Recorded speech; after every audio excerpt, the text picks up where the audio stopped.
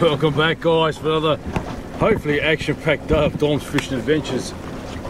I'm in very close to shore because it is a it is windy and choppy but I had to go fishing and it's one of the first days I actually wear a bloody jumper this year so that's a good sign for the squid and that's what I'm going for. So I wish me luck and uh, hopefully we'll see you when I get a few fine specimens.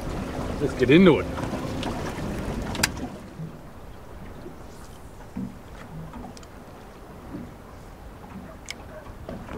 Awesome, hook up. So about the camera angle, I just want to get him. He's fighting too. Just wanna, I don't want to lose him because I've had so much better. He's just on too. I have to get the net. Oh my god. Okay. That's a strange hookup. That is a strange hookup, but it's a hookup. And he's uh he's a good little fish, a good little calamari, right on here. So he must have tried to grab on it, grabbed onto it, and he um he got stuck, he got snagged. I'm content. 10 minutes, first calamari. He's a tiny tot. He's not going to win any prizes, but he's won my heart. Yeah, beauty. And we are pretty shallow water. I thought I'd try the shallows first and I'll go a bit more further out. It doesn't get that deeper, but just wanted to try at my uh, old spots. What I like doing is having two two rods, giving a hand line. One I'm working, rotate it every now and then, and keep it pretty loose because some of this, well, because some of this squid they they can grab it, and if the drag is too tight, it just rips off their um rips off the barbs, and you lose a good catch. So loose is the way to go. Hand line here too. We're actually moving in a southerly direction, which is not what I wanted. More east would have been great. So I was working this jig again. It's very hard to get on camera because I just waste so much battery. And uh, it's another one. It's a small one, but uh, calamari's calamari. Again, I got him right on the back of their head. How about that? Right on the back of the head. So, which is good because that's the strongest part of the calamari. That's where you want to catch them so they don't rip off their tentacles. So this is a good bait size. It's also a good tucker size.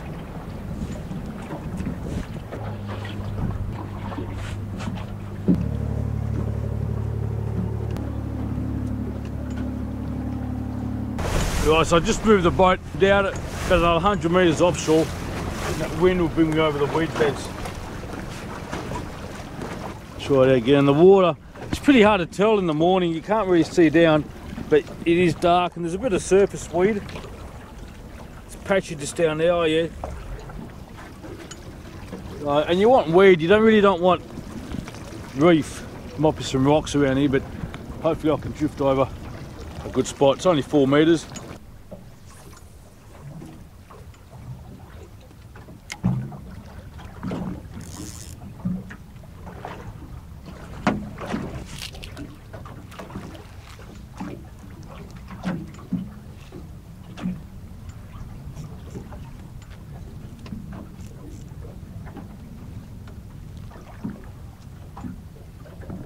Kept moving the jigs.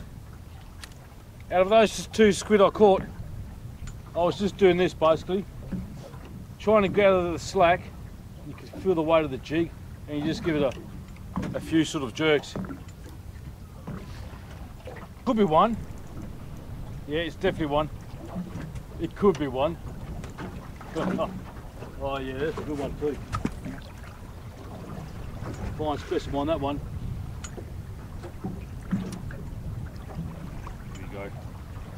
Yeah, beauty. Fine specimen. Woo! Awesome. Was getting a little bit quiet.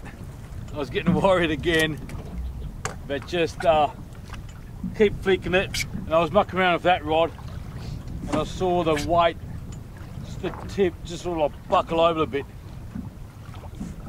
Way to go. And it looks like that yellow lime colour is working well This one here, my favourite jig, hasn't really been hit yet. Whether I should change over to the same colour, I probably should do that, but I don't know. So that's the kind of jig I'm using, Harimitsu. It's a three and a half deep, it's about 23 grams. It's probably on the very heavy side in these kind of waters. It's only looking about four meters.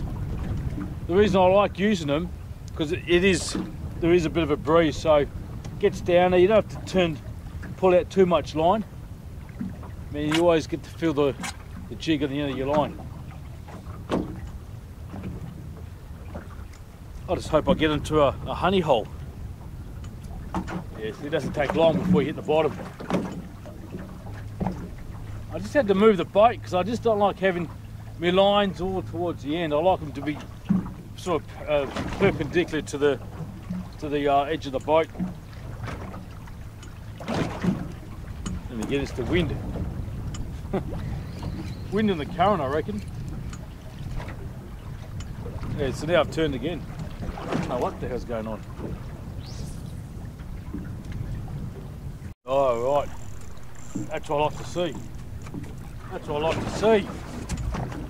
And I moved the spot, I went further out. And he's a medium sized one. Oh, he's coming up. Hopefully he's got a few followers with him. Oh, that snagged. That snagged on the bottom.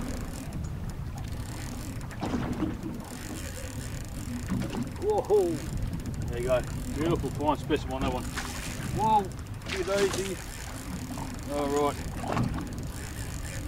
I better tend to this one. This was really stuck.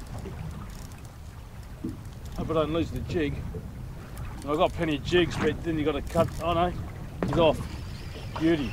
He does pay to have a strong leader. I think I use um, 20 or 30 pound leader because you don't want to lose jigs. Expensive and it's grabbed onto that weed bed. That's what you want, that ribbon weed. As you can see the fine specimens on board. And I uh, rudely interrupted his sleep, I think. Then again, he was probably going for some brekkie. Awesome. Here he is right here. Another one. And they're actually loving this yellow jig. Yellow lime jig. Beautiful. I should put a white jig on that one. See if they might go for white. I'm just on the edge of uh, of weed and sand. And you can see it. And that's a really good spot for squid. As you can see the bottom of the water. Because I can hang around the edges and I go for a prey. Could be some whiting out here. That's why I'm using these yellow lime white jigs. That's a size 4 so hopefully that's going to work. A bit more heavier. Yeah so I'm right on the edge you don't want to go over the sand too much. Oh, here we go. It worked. Oh, I just realised it's hooked. Oh, there's a big black cloud of, of ink out there. So that worked. It's right here. Hey, juice, sir. Beautiful. So that worked. How about that? Right on cue. Right on the edge. Bada bing. Woo! Yuck. They're really good. I'm happy today. I'm absolutely content. Yeah, so it's patchy ground. It's actually be good for King George whiting too. Might give it a shot, but always there's butterfish there, so I'm not gonna be too fast. I'm just gonna work this jig crazy a slower action one, size 4. Yeah, now it's a real dark spot right here. Bit of sand there at the edge. I can just feel another hook up coming up pretty soon.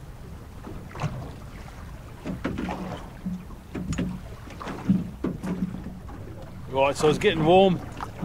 Took the jumper off. Now I've got the fine specimen out here. Hopefully the squid don't get jealous. I said, gee, I, want to be on Dom's shirt. I doubt it.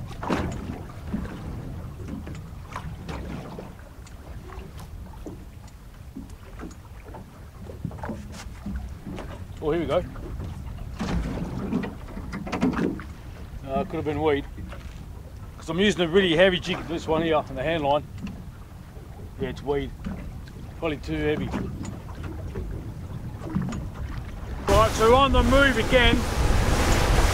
Probably about five and a half, six metres, which is I prefer that kind of depth. Overcast, so you really can't see if it's weed or not, but you, you have the instinct that you're over weed, and also the sounder helps you out a bit. But I'm trying to get broken bottom on the edge of the sandbank and the weed beds.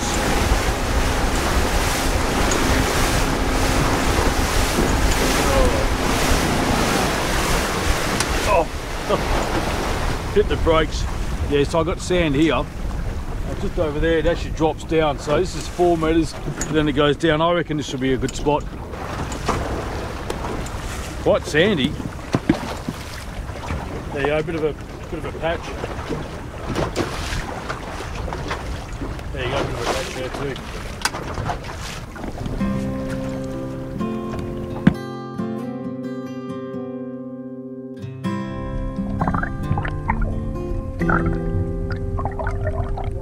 Alrighty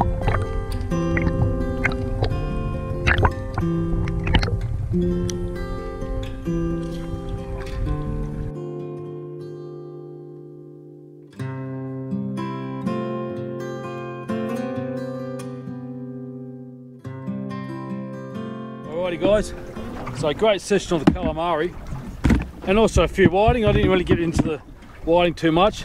I'll save that for another trip. Fine specimens of calamari and also a few whitings. Now I can't be more happy than that. We'll uh, definitely see you home for a cook up. Take it easy.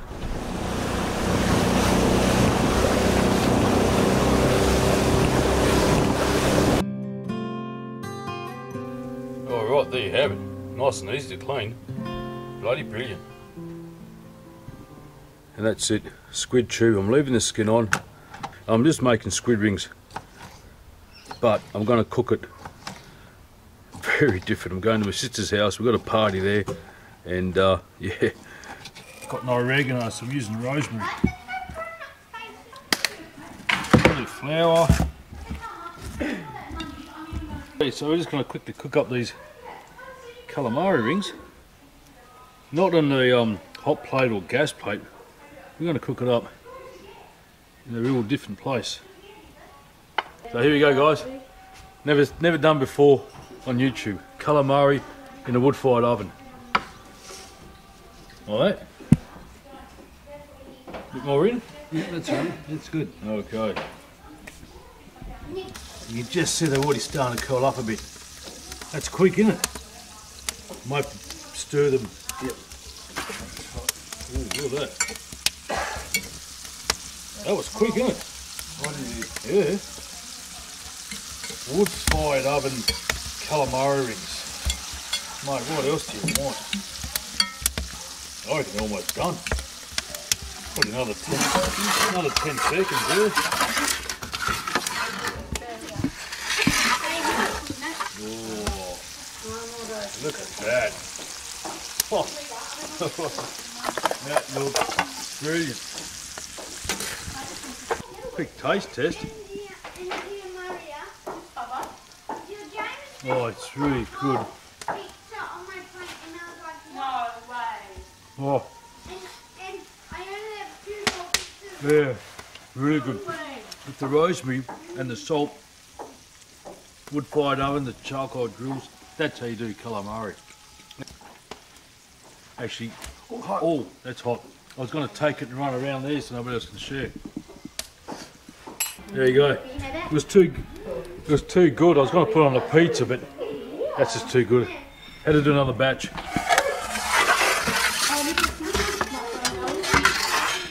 Thanks, chef.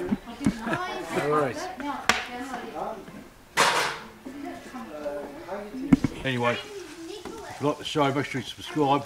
Fish Tucker Man rules for another day. Take it easy. See you next time. Fish tucker, fish tucker, fish tucker, man.